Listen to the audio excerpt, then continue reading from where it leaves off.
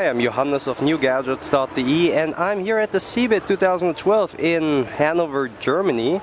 And at the MSI booth we are having a look at the new MSI R7970 Lightning graphics card. And right here are the features.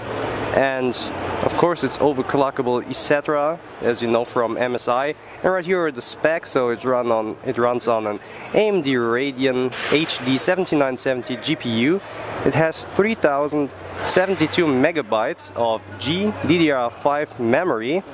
And let's have a quick look around it so you can see we have four display ports two DVIs let's have a look at it. So we have of course two the twin Frozr system with two big fans and the ports over here.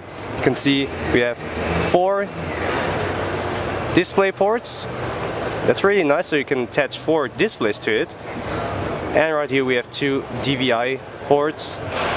And of course with the adapters you can also use VGA or HDMI so that's the MSI R7970 Lightning graphics card.